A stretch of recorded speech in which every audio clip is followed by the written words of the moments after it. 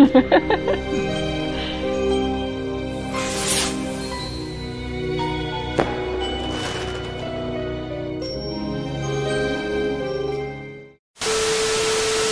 guys, welcome back to my channel. I'm Rita Wang. So anyway, how are you today guys? I hope you guys stay safe and healthy ya. Jadi di video kali ini aku ingin membicarakan tentang beauty privilege. Di mana mungkin dari kalian apakah ada yang setuju ketika orang-orang bilang kalau kamu berparas cantik ataupun tampan hidupmu itu akan lebih dimudahkan dari segi mencari kerja atau berpacaran, dapat jodoh, ya pokoknya katanya kalau kamu terlahir cantik atau tampan itu semua itu jadi lebih gampang.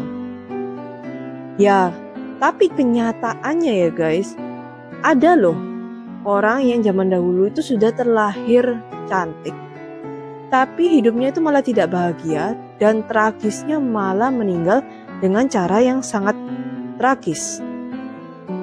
Nah, seperti apa ceritanya? Jadi, hari ini aku akan menceritakan tentang seorang permaisuri bernama Permaisuri Sisi, dia dari Austria yang dia sayangnya itu dibunuh oleh kaum yang anarkis. Padahal mukanya itu dia terlahir cantik ya. Nah, seperti apa ceritanya? Ikuti terus ya video kali ini. Dan jangan lupa untuk klik subscribe-nya dulu, nyalakan loncengnya, dan jangan lupa untuk follow aku di Instagram @ritawang1 underscore ya guys. Langsung saja kita ke ceritanya. Jadi Princess Sisi ini nama aslinya adalah Elizabeth Amalie Eugene yang lahir pada tanggal 24 Desember 1837 di Bavaria, Jerman. Ia adalah anak keempat dari 10 bersaudara yang dilahirkan oleh pasangan Princess Ludovica dengan Duke of Maximilian. Kemudian pada tanggal 25 April 1854, Sisi ini waktu itu berusia 16 tahun menikah dengan Kaisar Franz Joseph dari Austria yang waktu itu berusia 23 tahun yang merupakan raja absolut dari kekaisaran terbesar di Eropa di luar Rusia. Waktu itu pesta pernikahannya besar sekali sehingga banyak sekali orang yang ingin melihat siapa permaisuri dari Franz Joseph. Pernikahan seharusnya menjadi sebuah pintu gerbang menuju kebahagiaan ya. Tetapi tidak untuk Princess Sisi. Dia merasa bahwa pernikahan ini hanya membuat dia itu terisolasi layaknya seperti burung yang hidup di sangkar burung emas. Jadi walaupun diberikan kemewahan tetapi dia itu tidak bahagia. Bahkan sampai dia menderita penyakit mental dan berulang kali ingin melenyapkan hidupnya. Nah untuk suami Sisi, Franz Joseph, dia itu orangnya tampan, pekerja keras, dan cinta sama si Sisi. Tetapi sesempurnanya orang pasti ada kurangnya kan? Nah dia itu kurang humoris, Sebetulnya sebelum pernikahannya dengan Sisi, ibu dari Franz Joseph ini sudah mau jodohin dia sama kakak perempuannya Sisi. Tetapi ternyata Franz Joseph ini sudah jatuh cinta sama Sisi sejak dari kecil. Di sisi yang lain, si Sisi ini orangnya pemalu karena tidak pernah berpacaran sebelumnya dan situasinya menjadi tidak membaik ketika dia memasuki realitas pernikahan di mana ketika kamu menjadi anggota kerajaan itu ada protokol dan etiket yang harus dilakukan termasuk akhirnya tidak bisa bersosialisasi dengan sembarang orang. Dan ini membuat Sisi menjadi merasa tidak punya teman dan terasa dikekang Selama pernikahannya dengan Franz Joseph, mereka memiliki tiga orang anak, tetapi hanya bertahan dua saja, yaitu putra mahkota Rudolf dan Archduchess Gisela. Dan karena itu, Sisi ini menjadi semakin sedih, depresi, dan sering menunjukkan ekspresi yang muram. Jadi dia tidak senang. Tapi walaupun begitu, terlepas dari sikapnya yang muram, si Sisi ini memikat publik karena kecantikannya yang menajubkan dan rambut kastanya yang sepanjang mata kaki. Dan itulah permaisuri yang menarik bagi pandangan publik masa itu. Ya meskipun bisa dibilang Sisi ini orangnya sinis, tapi Sisi ini dia concern ya dengan beauty-nya. Dia bahkan bisa menghabiskan berjam-jam untuk touch up, yaitu selama tiga jam untuk nata rambutnya, Terus satu jam itu dia bisa mengencangkan pinggangnya yang terkenal hanya memiliki 19,5 inci.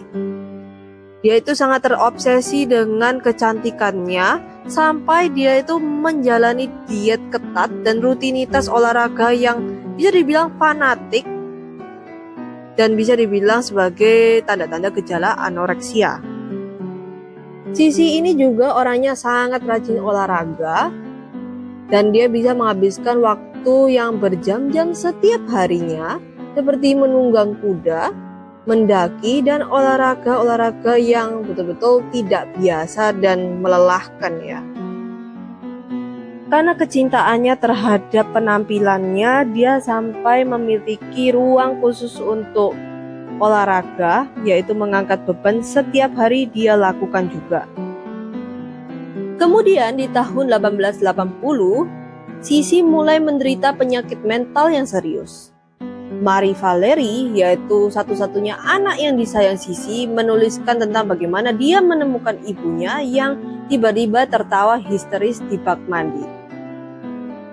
Ya kalau kita bayangkan sekarang ini situasinya akan mengerikan ya karena bagaimana tidak mengerikan ketika Sisi ini sering berbicara kepada Franz Joseph bagaimana dia ingin melenyapkan dirinya sendiri dan ini sangat membuat Franz Joseph ini ketakutan dan memanggil dukun atau paranormal untuk membantu mereka untuk menyembuhkan Sisi dari penyakit mentalnya. Istilahnya ya kalau sekarang itu dirukiah gitu ya guys. Keadaan semakin memburuk pada tahun 1889 di mana putra kesayangannya Sisi yaitu putra mahkota Rudolf dia ditemukan sudah tidak bernyawa bersama dengan temannya yang berusia 17 tahun yaitu Mary Fetsera di pondok berburu Mayerling yang membuat Sisi ini semakin depresi. Walaupun Rudolf dan Vesera ini meninggalkan catatan, tetapi kematian mereka ini tetap menjadi misteri. Karena adanya desas-desus tentang pembunuhan ganda yang terus berlanjut. Awalnya, Vesera ini dianggap meracuni Rudolf sebelum akhirnya melakukan pelenyapan diri.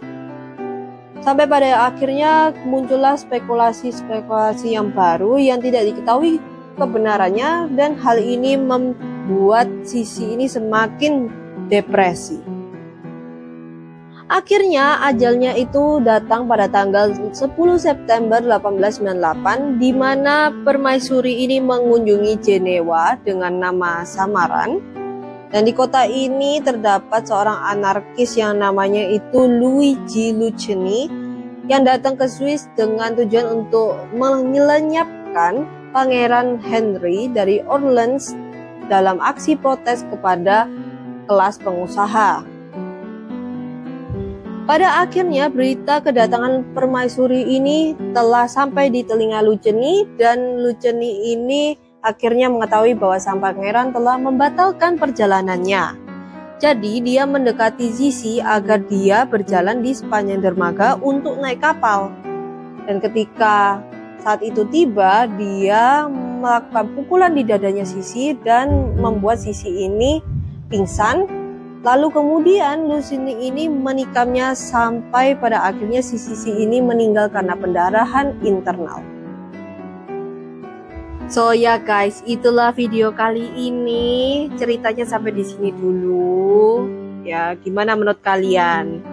komen di bawah ya dan komen juga kira-kira next video kalian mau aku ceritain tentang apa lagi So ya guys, semoga kalian suka dengan video kali ini. Kalau kalian suka, kalian bisa like, share, subscribe, nyalakan loncengnya, dan jangan lupa untuk follow aku di Instagram @ritawang1 underscore ya guys.